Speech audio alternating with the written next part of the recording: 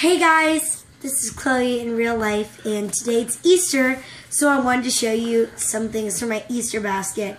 Now, first of all, I am super excited because I got book four and five of Brody's Ghost, which is by Mark Crilley, and you gotta check those out.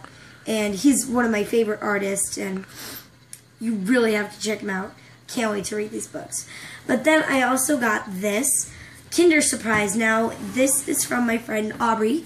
She wanted to make me a video. She wanted me to make her a video of me opening it. So, let's open it up.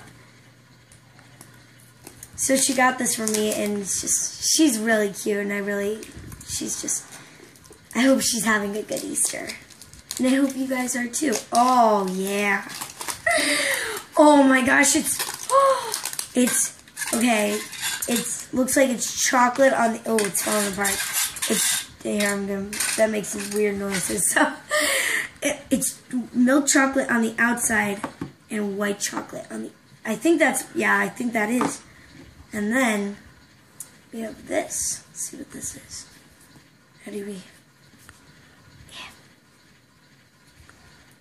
Okay, there we go, got it, I got it, guys. Oh, it's a little a little porcupine dude. I think that's a little either hedgehog or porcupine. He's really cute. You know what? I know exactly. There you go.